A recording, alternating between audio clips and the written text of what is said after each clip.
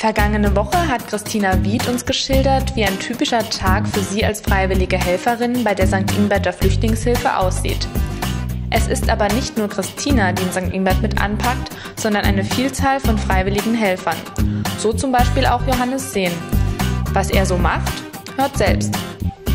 Mein Name ist Johannes Sehn, ich bin eigentlich in Frührente, bin dazugekommen, weil ich gesehen habe, dass Hilfe gebraucht wird, habe mich bei Frau Wied gemeldet und bin seitdem, seit zwei Monaten, quasi täglich im Einsatz.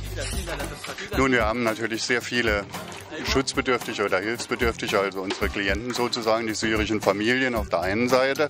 Und auf der anderen Seite haben wir halt die Spender, die auch zahlreich sind und sehr gute Sachen spenden. Und an mir und an Frau Wied selbstverständlich ist es dann, die Koordination zu übernehmen. Also sprich, was kommt wohin, wann holen wir was ab. Und um das dann in die Tat umzusetzen, das nimmt so eine Stunde am Tag in Anspruch, haben wir den blauen LKW, der gespendet wurde. Und mit dem fahre ich dann mit meiner Truppe von Helfern, was alles Syrer sind, transportieren Möbel von A nach B und helfen natürlich auch hier alles im Stand zu halten. Auch mit dem Syrer Hadi konnten wir sprechen. Im Interview gibt er Antwort auf die Frage nach kulturellen Unterschieden und berichtet uns von seinen Erfahrungen mit der St. Ingberter Flüchtlingshilfe. Äh, ich bin Olabi, Abdulhadi Olabi. Äh, ich bin hier in Deutschland seit äh, sieben Monaten. Ich komme aus Syrien. Uh, the most important thing that uh, here uh, man feel uh, that he, he, is respected here in this uh, country, and this thing we miss it in in Syria.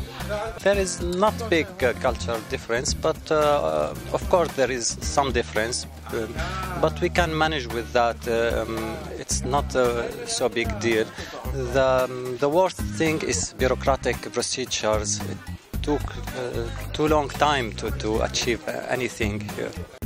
Uh, in St. Ingbert, I think the, the whole situation is very good. Uh, the, the, the only not good thing is that they put um, much people in one room, maybe sometimes four people, five people in one room, and it's not good. But uh, other things are so good, um, especially this store here. I took for my family furniture, and it was very, very helpful for me. Solltet ihr Lust bekommen haben, auch mit anzupacken, dann hat Christina jetzt noch ein paar Infos für euch. Ja, also benötigt werden, äh, glaube ich, mittlerweile bundesweit äh, dringend Herrenkleider in kleinen Größen, Herrenwinterschuhe, dicke Kleidung. Ähm, mit Kinder- und äh, Damenkleidung sind wir sehr gut ausgestattet, aber ähm, Herrenkleidung fehlt. Ähm, einbringen äh, kann sich jeder bei uns sehr gerne. Wir sind tagtäglich damit beschäftigt, die äh, Kleider zu sortieren, die Hausrat, die Gegenstände, alles was kommt, ähm, zu sortieren und einzuräumen. Von daher kann man sich eigentlich wirklich täglich hier einbringen. Und ähm, ansonsten kann man natürlich auch gerne Patenschaften äh, generieren. Äh, das vermitteln wir auch.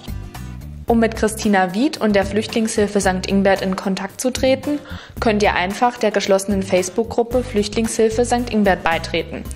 Dort könnt ihr euer Hilfegebot anbringen und bleibt immer auf dem Laufenden.